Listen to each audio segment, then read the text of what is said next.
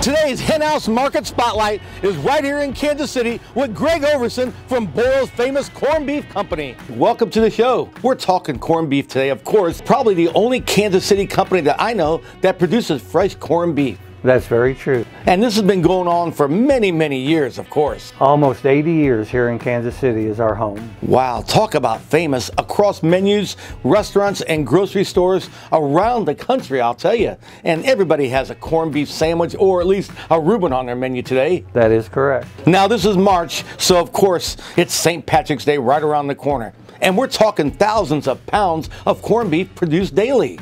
Oh, absolutely. Corned beef all the time. So tell me a little bit about the process itself of making fresh corned beef.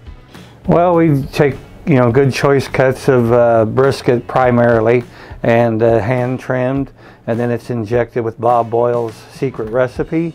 And Then it's uh, cured for several days, then it's packaged and shipped to the stores. We talk about that secret recipe, and we don't want any uh, proprietary anything, you know, that, that you can't give any information about, but that is the same recipe for 80 years. That is true, and uh, I believe one of the secrets to it is they use oleo resins instead of dry spices, which I think is, you know, the most powerful part that you can use. That recipe that Bob put together is uh, extremely flavorful. Sure.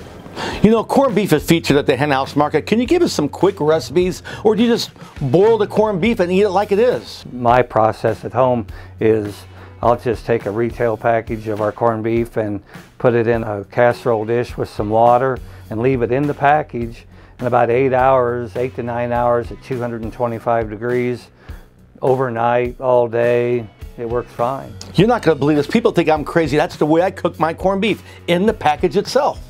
Well, you retain all those good flavors when you do it that way. Everything that's been injected into that meat, it doesn't go into the water itself. It stays in the package. That's correct. It makes sense. Well, you talked about the fresh corned beef and, of course, the pastrami burnt ends. I can only imagine what's on the horizon for Boyle's corned beef. Another 80 years, of course. Oh, we certainly hope so.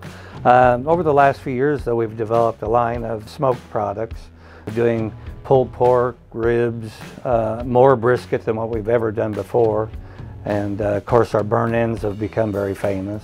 Well, Gregg, it's been great touring the uh, the plant, checking out all the different processes that you have, and of course, tasting some of that delicious Boyle's corned beef produced right here in Kansas City. It's always a pleasure to uh, continue Bob Boyle's legacy, and you know, and, and again to promote something that he developed 80 years ago. Oh, wow, that's really something else. 80 years, Boyle's corned beef, right here in Kansas City.